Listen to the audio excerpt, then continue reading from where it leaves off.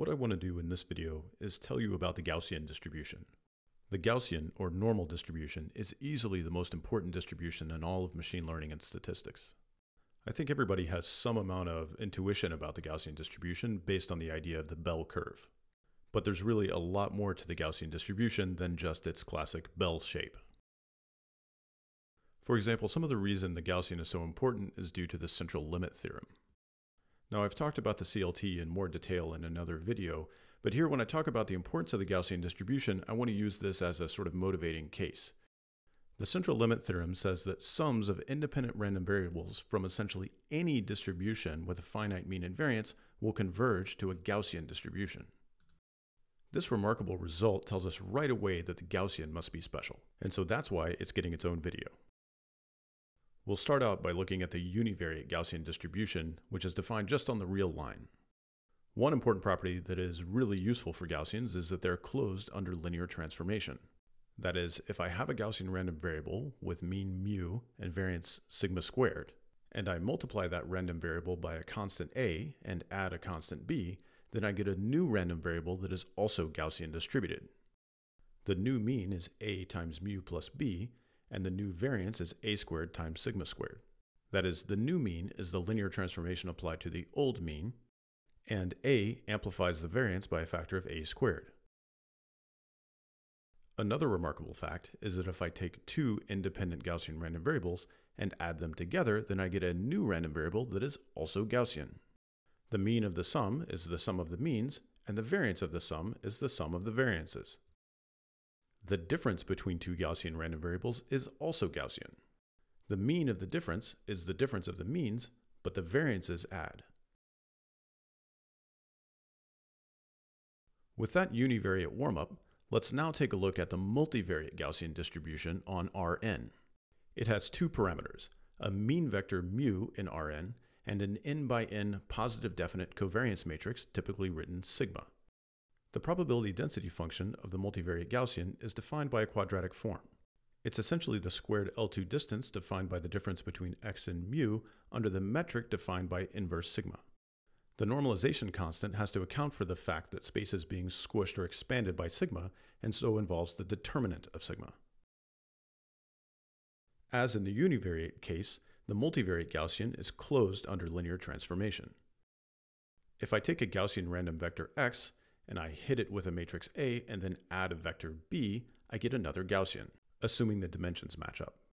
As before, the mean of the transformation is the transformation of the mean. The covariance of the transformation takes sigma and hits it on the left with A and on the right with A transpose. As in the univariate case, sums and differences of multivariate Gaussian vectors are also Gaussian. The mean of the sum is the sum of the means, and the mean of the difference is the difference of the means. In both cases, the covariance is the sum of the previous covariances. One of the things that makes the multivariate Gaussian distribution so remarkable is that the conditionals and marginals are easy to compute and also Gaussian. So imagine that I had a Gaussian random variable bold x, and I wanted to ask about the marginal of the first entry, x1. In general, this kind of marginalization would involve integrating out all of the other components of the vector.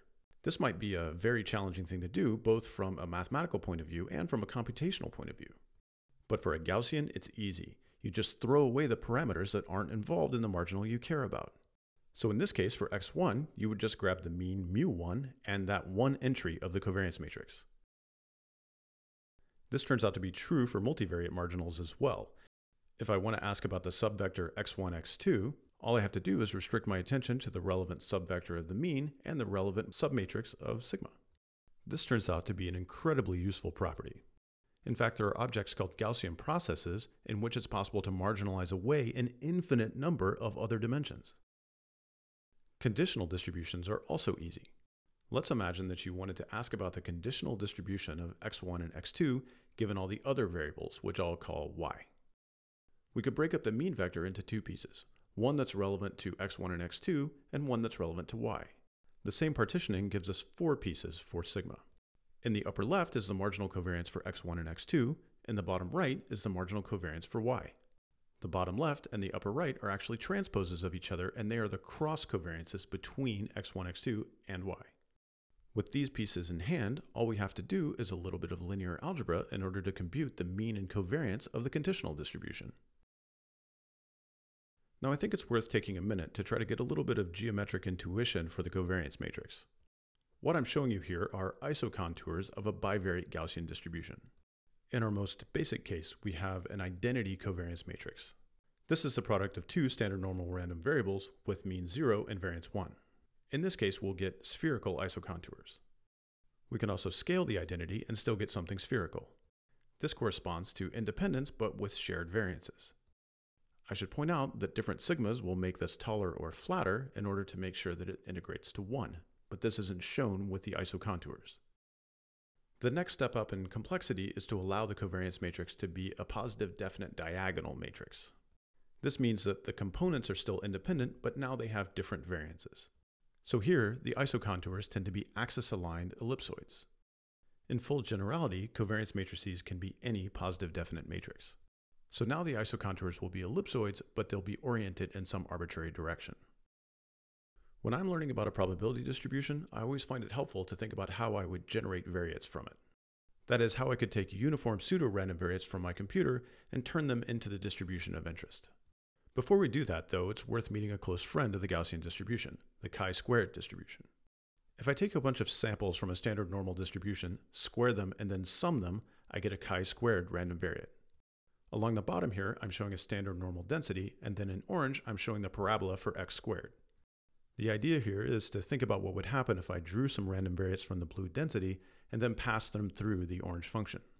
If I did this with one standard normal random variate, I would get something like the density that I'm showing vertically on the left. The parameter for the chi-squared distribution is the number of standard normal random variates whose squares I add together. This parameter is conventionally called the degrees of freedom of the chi-squared distribution. Here I'm showing how that distribution changes with increasing degrees of freedom. Interestingly, it turns out that the chi-squared distribution is a reduced parameterization of the gamma distribution. Of particular relevance to us here is that when the number of degrees of freedom is 2, it is the exponential distribution. So now that we know that fact, we can look at the most popular way to generate Gaussian random variates, called the Box-Muller transform.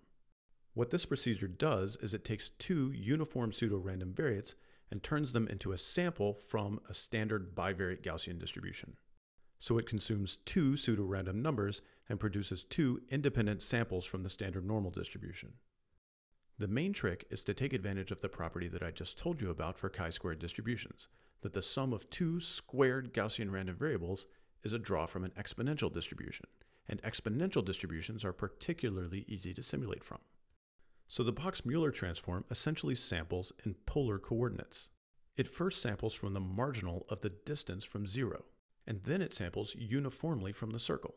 You transform the point back into Cartesian coordinates, and just like that, you have a sample from a bivariate standard normal.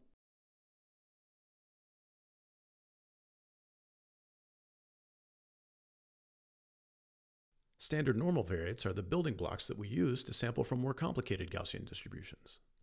Let's look at the univariate case first. The key thing to remember is that the Gaussian distribution is closed under linear transformation. That means for a given mu and sigma squared, we can engineer a linear transformation that takes a standard normal random variate and turns it into a random variate with that mean and variance. The procedure is pretty simple. First, get a standard normal random variate using something like the Box-Muller transform. Then multiply that standard normal random variate by sigma, the standard deviation, or the square root of the variance. Finally, add on mu to get the mean you want. The procedure for generating multivariate Gaussian random variates is pretty much the same. You have to engineer a linear transformation. The thing that's more challenging now is we're going to need to decompose our covariance matrix sigma into something that looks like A, A transpose. As before, the first thing we do is generate something from a standard normal Gaussian distribution. Just here we'll need n of them. We take those and stack them into a vector in Rn. Now this is a draw from a multivariate Gaussian distribution with zero mean and identity covariance. Where things really deviate from the univariate case is that now we need to decompose the covariance matrix sigma into a matrix multiplied by its transpose. A very convenient way to do that is to use the Cholesky decomposition. The Cholesky takes a matrix sigma and produces a lower triangular L such that L times L transpose is sigma. Now you hit your standard normal random variate x on the left with L. Finally, you add in the mean mu. With this recipe, you can cook up samples from any multivariate Gaussian distribution that you want.